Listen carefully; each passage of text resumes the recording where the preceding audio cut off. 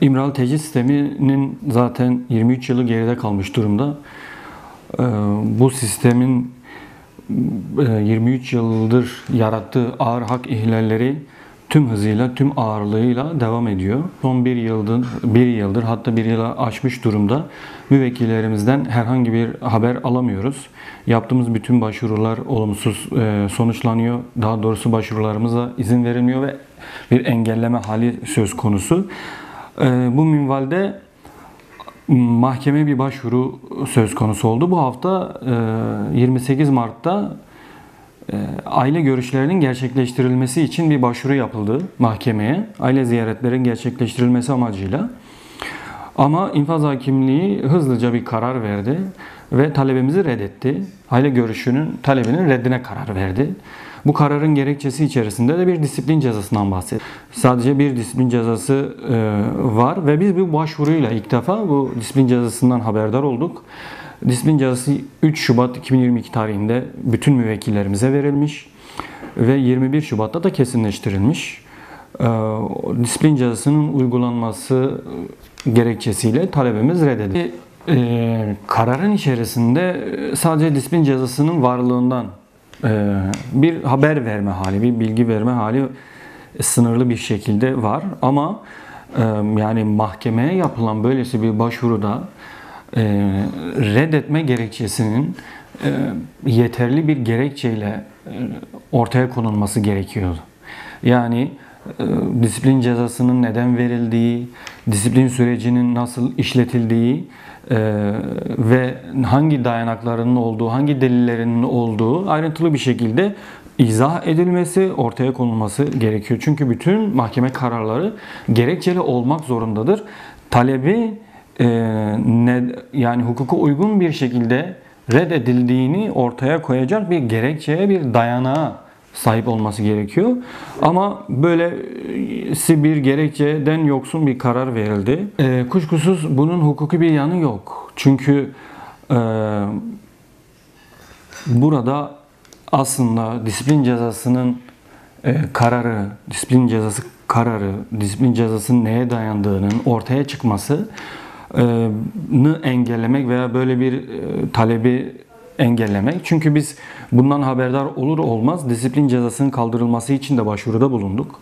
Ve disiplin cezasının e, hem kendisi hem de bunun dayanağı delillerin de tarafımıza bir örneğinin verilmesi için başvuruda bulunduk. Çünkü bundan sonra yapılacak hem mahkeme başvurularında, itirazlarda etkili bir başvuru yapma hakkımız söz konusu. Dolayısıyla e, yapacağımız itirazları e, neye göre yapacağımızı bilme hakkımız var. E, ancak e, yani hem disiplin cezasının nedenleri gösterilmiyor hem de disiplin cezası dosya örneği tebliğ edilmiyor veya talep üzerine talebimiz kabul edilmiyor. Bu şekilde bir yani hukuka aykırılığı gizleme amacı söz konusu. Hukuka ay- aykırılığın e, ortaya çıkmasını istememe hali söz konusu ve bir suç halini gizleme durumu söz konusu var. Elbette bu durum neye sebep oluyor? Tabii ki e, bir keyfiliği de ortaya koyuyor. E, Yani zira bir disiplin cezasını veya bir cezanın neden verildiğini ikna edecek kanuni dayanaklarıyla, delilleriyle ikna edecek bir şekilde ortaya konulması lazım. E bunlar gizlenince, bunlar e, e, açığa çıkarılması engellenince hem idarenin hem mahkemelerin veya kurumların e, keyfi davranmasının önünü açmış oluyor. Bu da bizi tecritte getiriyor. Yani tecrit uygulamanın e, herhangi bir sorgulamaya maruz kalmamasını doğuruyor. Dolayısıyla bir tecrit, tecrit rejimi ortaya çıkıyor. Bir keyfilik ortaya çıkıyor. Herhangi bir yetkili e, herhangi bir hakkı kısıtlayabilir, herhangi bir hakkı e, uygulamayabilir. Bunu herhangi kanuna dayandırmak zorunda da değil. E, keyfi bir şekilde bir e, kısıtlama, yasaklama hali söz konusu oluyor. E, bu bu şekilde müvekkillerimizin bir hukuki e, güvenlikten yoksun e, kılmış olunuyor. Yani müvekkillerimiz hukuki e, güvenden, hukuki güvenlikten mahrum kalmış oluyorlar. Bu da tecrit sistemini aslında ne kadar e, yani yasalara e, ve hukuka, kanuna aykırı bir şekilde e, yürütüldüğünü, sürdürüldüğünü de ortaya koyuyor. Aslında e, 5275 sayılı ceza infaz yasasında disiplin e, süreçlerinin nasıl başlanacağı, nasıl işletileceği, nasıl sonuca gideceği ayrıntılı bir şekilde ortaya konulmuş. E, ziyaretçi kabulünden yoksun bırakma cezasının da hangi nedene dayanarak verileceği de kanunda sınırlı bir şekilde yazılmış.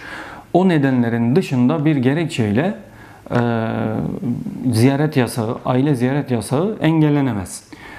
E, ama buna rağmen aile ziyaretleri sistematik bir şekilde engelleniyor. Bu kadar disipline, bu kadar sistematik bir yasaklama hali varsa burada hukuktan ziyade başka şeyler e, ortaya çıkar. Burada bir kasıt ortaya çıkar. Kasti olarak mahpusların, müvekkillerimizin baskı altına alınması amacını taşıdığı ortaya çıkar.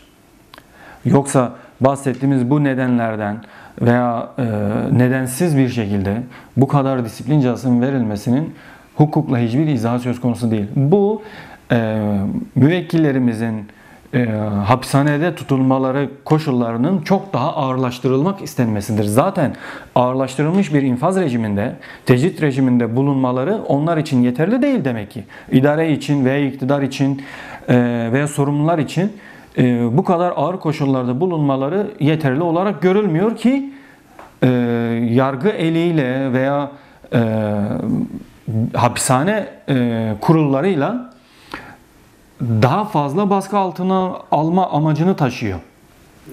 E, çünkü yani bu kadar e, üst üste sürekli e, defalarca disiplin cezasının verilmesinin makul, kabul edilebilir, inandırıcı, gerçekçi hiçbir nedeni söz konusu değil. Zaten bu disiplin cezalarının aldatıcı olduğu, nedenlerinin aldatıcı olduğu, hatta siyasi nedenlere dayandırıldığı İmralı'yı ziyaret eden Avrupa İşkenceyi Önleme Komitesi CPT'nin de raporlarında tespit edilmiş durumda. Hatta Avrupa İnsan Hakları Mahkemesi'nin Sayın Öcalan'la ilgili verdiği 2014 tarihindeki ve önceki tarihlerdeki kararlarında tespit edilmiş e, ihlallerdir bunlar. Ama ısrarla e, buna devam edilmesi e, müvekkiller üzerindeki baskının devam ettirilmek istendiğini gösteriyor. Yani bir yönüyle bu müvekkillerin içeri, içinde tutulduğu koşulları daha da artı ağırlaştırılma e, amacını taşıyor. Bir diğer boyutu da yani bu en bu disiplin süreçlerinin gizli yürütülmesi, kapalı yürütülmesi, bir şekilde öğrendikten sonra yapılan başvurulara olumsuz, hukuk dışı bir şekilde e, red kararlarının verilmesinin bir yönü de Sayın Öcalan'ın avukatlığını üstlenmemizi, Sayın Hoca'nın avukatlığını yapmamızı da engelleme amacı taşıyor.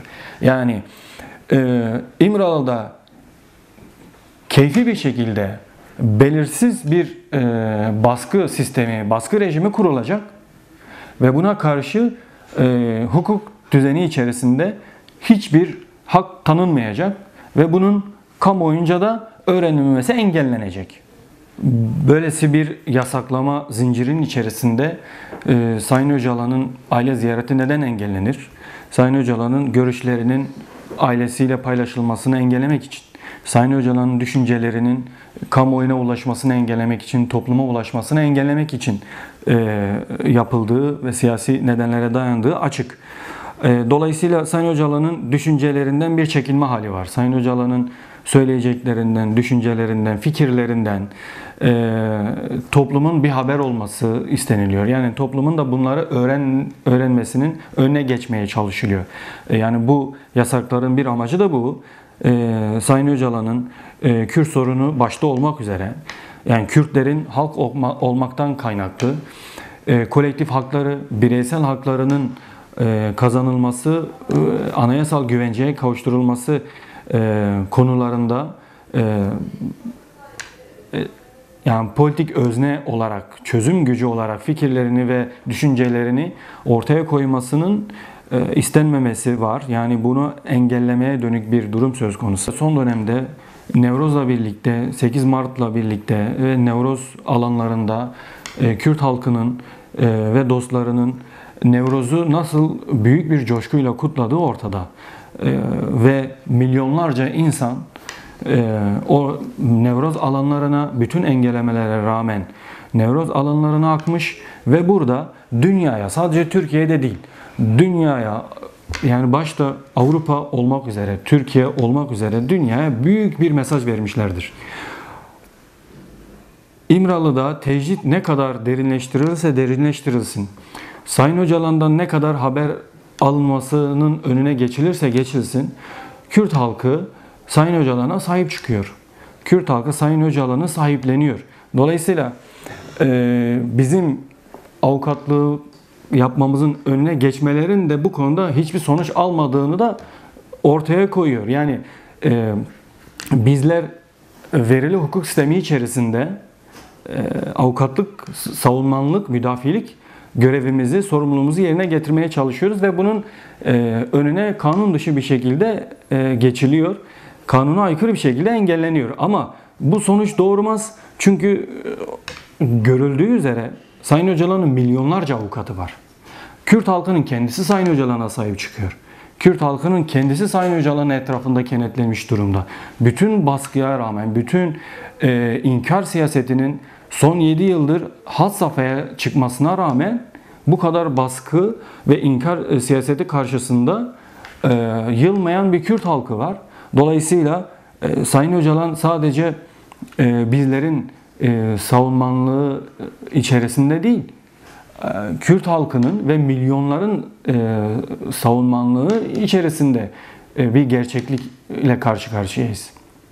Dolayısıyla e, bizim ma- mahkeme başvurularımızın veya e, bu yasakların ortadan kaldırılması için yaptığımız başvurularının e, engellenmesi e, bir hukuksuzluk örneğidir sadece. Ama bunun hiçbir sonuç almadığı, özellikle bahsediyorduk. Yani Sayın Öcalan'a topluma ulaşması, toplumla düşüncelerini paylaşmasının önüne geçilmesi amaçlanıyordu. Ama bu amaçların da yerine gelmediğini gösteriyor. Ee, 4 Nisan Sayın Öcalan'ın doğum günü de kutlandı. Yani e, halk Sayın Öcalan'ı e, nasıl görüyor? Kendi varlık gerekçesi olarak görüyor. Kendi hukuki e, güvencesi olarak görüyor. Bu dünyadaki kolektif haklarının e, kullanma gerekçesi olarak görüyor. Dolayısıyla bu şekilde Sayın Öcalan'la e, özdeşleşen, kenetlenen bir halk gerçekliği mutlaka kazanacaktır. E, bu anlamda bu tecrit sisteminin hiçbir sonuç almadığını, e, devleti, iktidarı, rasyonel aklının devreye girmesi, uygulanması, e, bu gerçekliği görmesi gerektiğini de ifade etmek istiyorum.